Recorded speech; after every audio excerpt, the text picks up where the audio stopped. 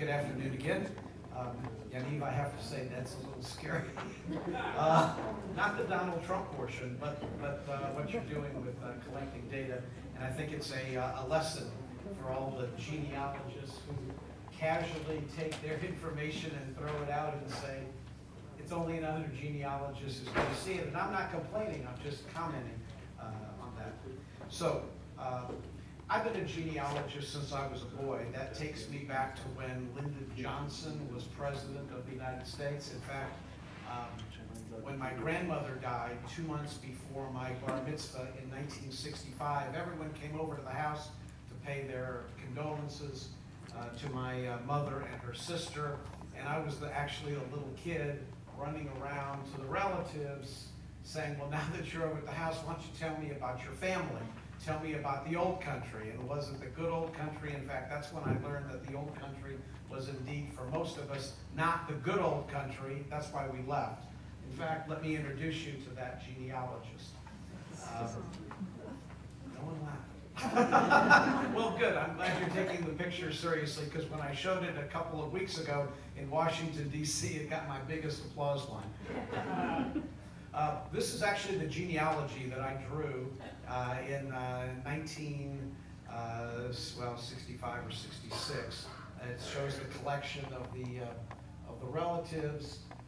one of the relatives took control of the family tree and put down her relatives or his relatives for me. You can see somebody said, well, they, they were born in 1857, they died in 19, let me just write it here on your genealogy, Bennett. And so that's indeed what they did. Uh, now, uh, all of you should know that the first study using the Y chromosome was, was Karl Skorecki along with uh, some folks with, uh, from University College London and Dr. Michael Hammer from the University of Arizona. And I too was electrified by that. I wrote to the University of Arizona at that time and said, I'm not a Kohen, but I'm happy to do a DNA test. And of course, my email went, went unanswered. What I was trying to do in 1999 uh, after I had sold my company to a publicly traded firm and had, in the words of my wife, way too much time on your hands. Uh, and she threw me out of the kitchen for suggesting that I should reorganize her cupboard for her. Uh, she told me I should pick up golf or go back to genealogy. In fact, I went back to genealogy, and I had this uh, this uh, uh, genealogy tree that I did on one of my lines on my NITS line. They came from the southern Ukraine. And then I entered in a website called JewishGen using their family finder. Uh, I found someone named Maria de Los Angeles, Maria of the Angels NITS, living in Buenos Aires, who said that her great grandfather came from the same village in the Ukraine that my grandmother was born in.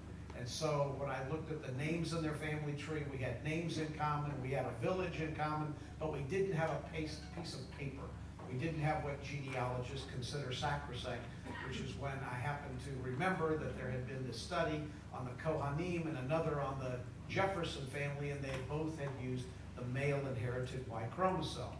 So traditional Y and mtDNA looks at the direct line of the father, where the Y chromosome is passed down, and then the direct line of the mother, where the mitochondria was passed down. But no one in the center could play because you know, there was no such thing as autosomal DNA testing at that time, which is why I had to beg a cousin of mine in California to do a DNA test for, well, what he felt was my benefit, what I felt was for our benefit. Uh, in fact, he told me no. He told me he was a sheriff in Culver City. He knew what could be done with DNA. If he only knew today what could be done with DNA. Um, uh, and, he, and he refused. Fortunately, when I called him again to beg him, his wife got on the phone and she said, This sounds like a wonderful idea. At which point I said, If only your husband felt the same way. Uh, she said, Send that DNA kit over here. I guarantee he'll do it. I don't know what she threatened him with, but, but it certainly it was a kit that came back very, very quickly. So, the Y chromosome results can point in the direction uh, that you, well, it can point the direction to your ancestral migratory path along the direct uh, male line. Mitochondria testing, when you use the entire mitochondria molecule, can do the exact same thing on the direct paternal line. And those tests are very, very, very clear for genealogists. They're clear, they're unambiguous. Why? Because the Y chromosome line comes from your dad. If you match anybody on that line, you know how you're related. Same thing on the mitochondria. Uh, autosomal DNA, uh, unfortunately, does not work that way. It casts a very wonderfully broad, relatively shallow net. And so what you'll know is that you're, you have matching chunks or matching blocks of DNA with someone, but you won't know how you're related. And this is a conundrum that all genealogists who are now becoming genetic genealogists have to deal with. So let me sum up this by saying that genetic genealogy is what I believe is guilt by association. People with matching DNA means they have a shared heritage with you. Even if you don't know what your heritage is, recent ancestry we call genealogy. That deeper ancestry, of course, is called uh, anthropology. And because I did a lecture a little bit earlier, I have absolutely decapitated my many samples. I think I have one example. This is the story of the God, uh, I'm sorry, of the Goodlove family from Iowa. They have their family Bible that goes back to 1783 he had these inexplicable names, Ashkenazim, on his matches. And this fellow's an Iowa farmer, kind of the salt of the earth. Uh, you say something to him, he doesn't come back to you quick, kind of thinks about it. And we had a kind of a halting 15 minute conversation with not a lot of words. Uh, just, just uh, you can hear the, the tractor wheels grinding, so to speak. So he, he got these results back and he has a uh, Kohanim match, which he, means he his profile matched the studies that had been done on the Kohanim. Um, and he has, uh, it says Ashkenazi, Ashkenazi Kohen, Ashkenazi, Ashkenazi, even matches a Sephardic guy down here. And uh, he called me back three days later and said, look, I'd like to start one of these surname projects. I said, okay. He said, because I know what our name was in Germany. And I said, well, sir, what was your name in Germany? He said, well, I'm sure became, before we became Goodloves and God loves, we were Gottliebs. and ultimately, he reached out in America looking for men named Gottlieb, tested, and found a fellow who was a Gottlieb that had a very, very similar uh, Y chromosome signature to him. So on mtDNA, um, the results kind of look like this. You're compared against a reference sequence, and ultimately we tell you what your differences from the reference sequence are. Of course, it wouldn't be real genetic genealogy if we didn't tell you the countries where your matches came from and the names of the people that you matched. And for me, the real surprise was this one up here, where it says that this fellow, who also matches me on the complete, uh, on the complete uh, mitochondria molecule, he is from Morocco. So again, I have this non-Ashkenazi thing going on, which again, I could never have determined, you know, just by looking in a mirror. Uh, in 2010, uh, 23andMe introduced a product uh, that was genealogical, non-medical, that used about 700,000 SNPs, and they used it in such a way that you could, uh, in effect, show people who have matching blocks of DNA in common with you.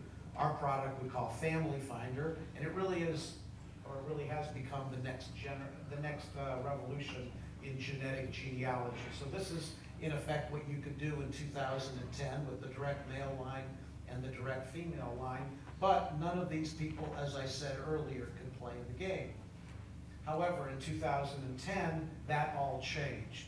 Now you can cast a very broad net, looking not only for aunts, uncles, nieces, nephews, half cousins, but you can look at first cousins, second cousins, third cousins, and if you're lucky, fourth cousins. The only problem for us Ashkenazim, or us Jews, shall I say, is that because we have practiced endogamy so effectively that uh, we have lots and lots of matches. For example, I have 7,000 matches, even though our database is probably only 3 or 4% Jewish, whereas we have lots more Scottish people and Irish people in our database, and those guys have maybe a thousand people or 1,500 people on their match list. And that's because truly we are not uh, the products of 32 great, great, great grandparents, as we heard last night.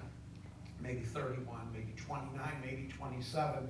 Uh, and for that reason, um, many, many, many people in this room are cousins, maybe all of us are cousins, without realizing that fact. So what's special about using autosomal DNA? Well, you can find relatives across all lines. You can determine the degree of relationship. If you want to ask the question and see if you have any half-siblings, uh, you can ask that question, although in our business we say if you don't really want to know the answer to the question, don't ask the question. Uh, you can make contacts with your matches. It's a perfect test for adoptees, and that's because in unlike the Y and the MT, which are gender specific, using autosomal DNA, it's, it's using a test that's gender agnostic. Uh, recently, uh, uh, we launched, in fact, last week, we launched a, uh, new feature that allows you to start breaking up those massive lists of matches you have into buckets. Uh, for example, you'd have a parental bucket, a father's bucket, a mother's bucket, and people uh, bucketed that you're related to from both your mother's side and your father's side.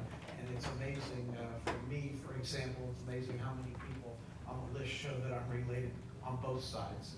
Uh, this would be an example of a paternal bucket. It got all of my uh, relatives right. I'm glad to say it also got all of my relatives right on my mom's side. So I think we're kind of on to something uh, with that because it's a conundrum if you're a genealogist. Not if you're related anymore, but how you are related. Uh, it starts with a tree.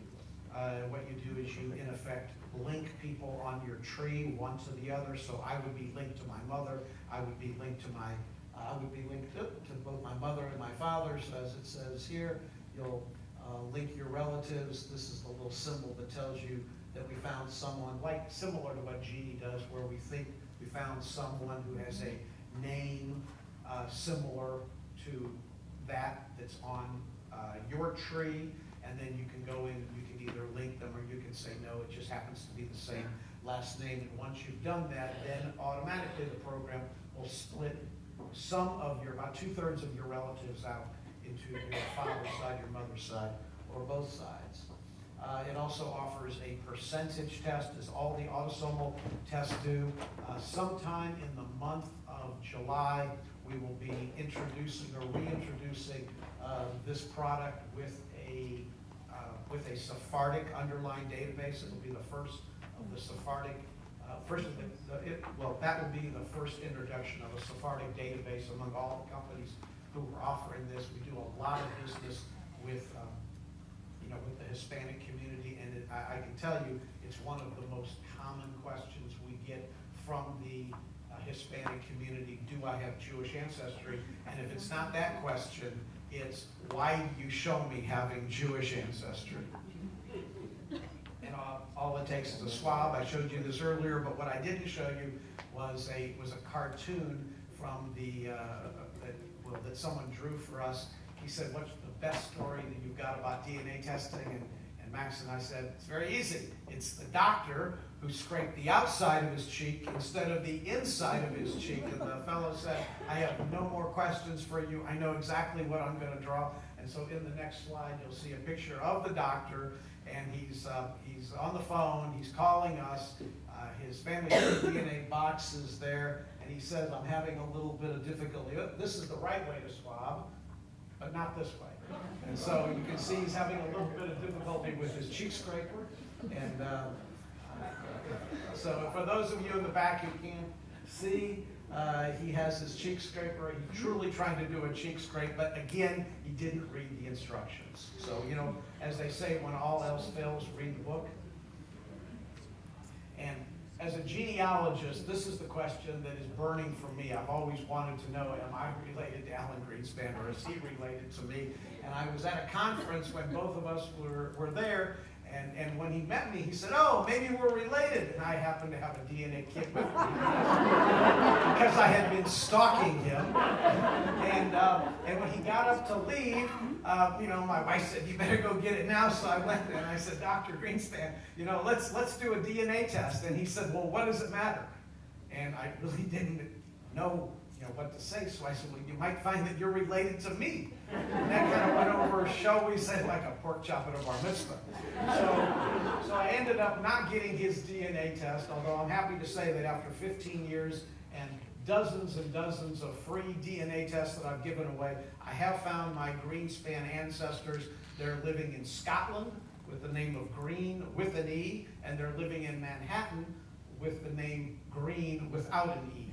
And so I was just lucky to be at the right place at the right time and, uh, and was able to talk someone into doing a DNA test, and lo and behold, I found my relative. But from a genetic genealogy standpoint, I would say that, that the community has spent 15 years creating a genetic survey.